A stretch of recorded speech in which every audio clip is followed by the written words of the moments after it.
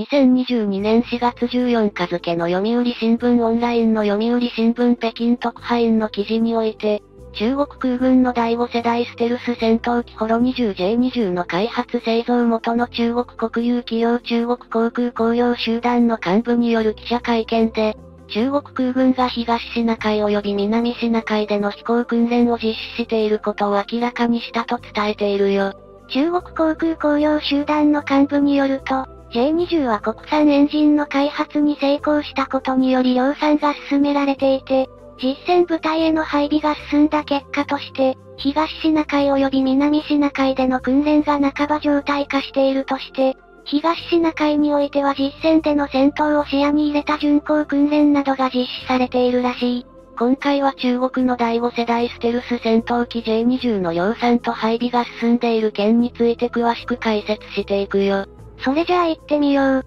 ゆっくりしていってね。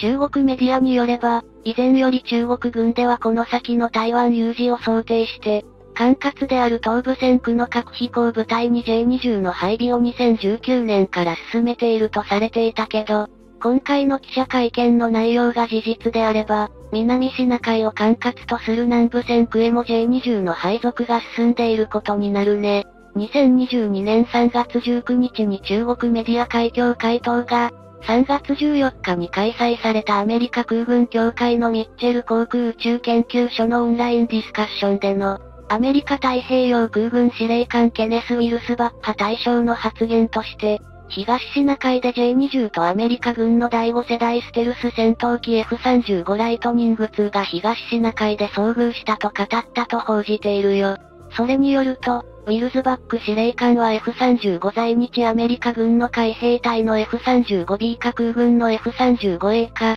あるいは空母搭載の F35C か、タイプなど詳細は不明が東シナ海で J20 に遭遇したことを認め、中国空軍の早期警戒艦機空 K500KJ500 との連携による飛行訓練を実施してようだとして、指揮と統制が取れているようで感銘を受けたと語ったというんだ。そして、ウィルズバック司令官はさらに J20 がどのような意図で開発が進められているのか、F35 のような対地対艦攻撃などの任務をこなすマルチロールとなるのか、あるいは F22 ラプターのように制空戦闘機となるのかは現時点ではわからないと語ったとされており、J20 の性能などについての言及はなかったと見られているな。ただ、このミッチェル航空宇宙研究所のオンラインディスカッションについて報道している世界のメディアはほとんどなく、ウィルズバック司令官が J20 に感銘を受けたと語ったことを伝えているのは海峡回答のみだぜ。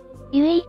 台湾通信がこのオンラインディスカッションのものと思われる記事を発しているが、ウィルズバック司令官の段として掲載されているのはウクライナ情勢に絡んだ発言で、太平洋上で中国軍とロシア軍による爆撃機、指揮統制機、タンカーが参加する統合爆撃機パトロールが数回行われたが、大規模なものではなかったと指摘したことのみであるため、J20 に言及したことについての信憑性は低いと見られているわけだ。J20 は中国航空工業集団講師が、中国空軍のために開発した総発ステルス制空戦闘機で、アジアでは最初に運用された第5世代ステルス戦闘機であるとされ、アメリカ軍とロッキード・マーティン社が世界に先駆けて開発したステルス攻撃機 F117 ナイトホークの技術を参考にしたとの噂があるね。F117 は1983年10月からアメリカ空軍によって運用された世界で初めて実用化に成功したステルス機で、1999年にコソボ紛争の際に撃墜された機体の残骸が中国に渡ったことが明らかになっていることからそのような噂が広まっているんだけど、中国軍側ではこれを否定しアメリカ軍側も懐疑的な見方をしているよ。J20 の初飛行は2011年1月で、2017年から運用が始まり、2021年末までに200機ほどが生産され実戦部隊に配備されていると見られているんだ。機体はかなり大型で、同じ第5世代であるアメリカの F22 やロシアのスホイ57より一回り大きく、体前方のカナード翼と後円に向かって緩い前進可動を持つデルタ翼に近い主翼を組み合わせたクロースカップルドデルタ翼を採用しているな。この形式はユーロファイタータイフーンやラファールなど、ヨーロッパの戦闘機によく見られる形式であり、垂直尾翼などの傾斜は胴体側面の角度と等しくなっているぜ。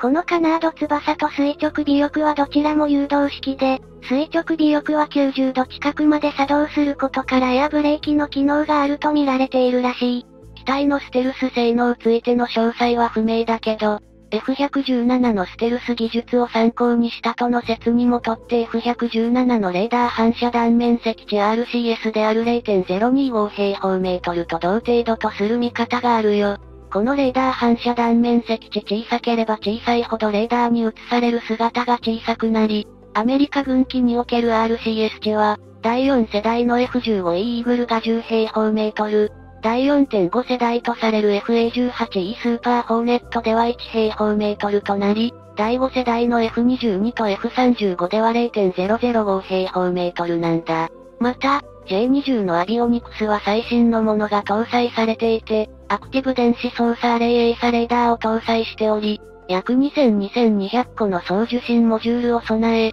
その出力電力は 24kW に達するとされているね。また、送受信モジュールの数と出力電力の大きさは F22 に搭載されている ANAPG77 を上回っているために、J20 が搭載している AESA レーダーは ANAPG77 より探知距離が長く、より早期に相手を発見できる可能性があると推測されているな。加えて、J20 には F35 の ANAAQ37EODAS によく似た分散開口システム DAS を採用しており、機体各部に複数のセンサーを備えていると見られていて、機種の下面には F35 と同じように EOTS EOTS86 が備えられていて、対空目標の補足と照準が大きく強化されているとの指摘があるぜ。そして、J20 に搭載されている2機のエンジンについては初飛行当初から様々な噂があるが、試作初号機ではロシア製のサプールン 117S ターボファンエンジンが搭載されていたとみられ、